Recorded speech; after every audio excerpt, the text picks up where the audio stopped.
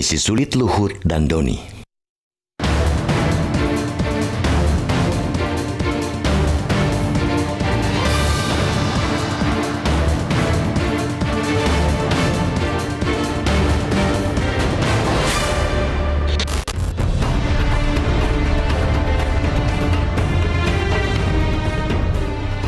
Bukannya menyusut, jumlah kasus positif COVID-19 justru kian melejit.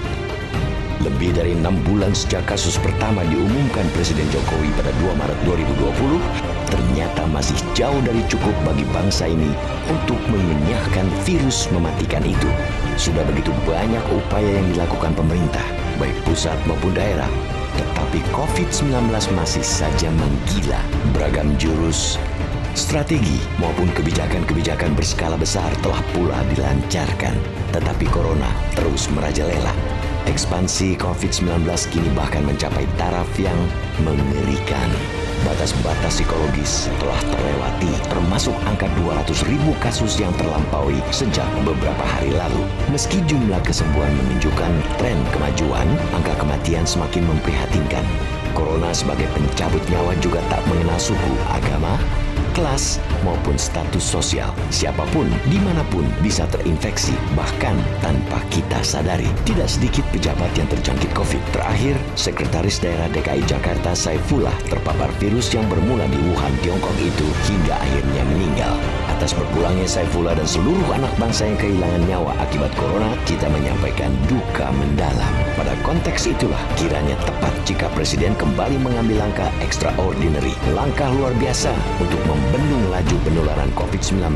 Dia memerintahkan Wakil Ketua Komite Penanganan COVID-19 dan Pemulihan Ekonomi Nasional Luhut Binsar Panjaitan dan Ketua Satuan Tugas Penanganan COVID-19 Doni Monardo untuk mengatasi secara khusus penyebaran corona di sembilan provinsi. Tugas khusus diberikan Jokowi karena di sembilan provinsi itu ekspansi COVID makin membahayakan. Bahkan dari sana, 75% kasus nasional berasal. Kesembilan provinsi itu ialah DKI Jakarta, Jawa Barat, Jawa Tengah, Jawa Timur, Sumatera Utara, Kalimantan Selatan, Sulawesi Selatan, Papua, dan Bali.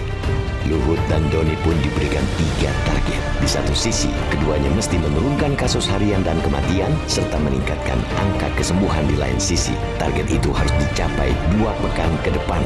Instruksi khusus untuk Luhut dan Doni adalah bagian dari upaya Presiden untuk menjinakkan keganasan corona. Kita pun berharap perintah itu dilaksanakan seserius mungkin, sehingga harapan kita agar pandemi COVID-19 segera berlalu dari negeri ini mendekati kenyataan.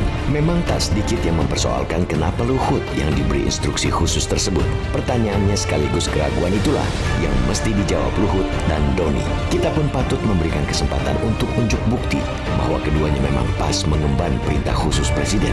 Dukungan dari seluruh anak bangsa tentu saja menjadi keniscayaan karena tanpa itu siapa pun yang diberi tugas memimpin perang melawan corona mustahil mempersembahkan hasil maksimal. Sinergi dari pemerintah daerah di sembilan provinsi tersebut jelas sangat dibutuhkan. Peran aktif masyarakat dengan mematuhi protokol kesehatan juga sangat menentukan. Jangan lagi ada kompromi terhadap pengabaian-pengabaian. Tindakan keras tak boleh gamang untuk dilakukan kepada mereka yang membangkang karena keselamatan seluruh rakyat kini dipertaruhkan. Itulah misi sulit yang mesti dilaksanakan Luhut dan Doni dengan sepenuh hati.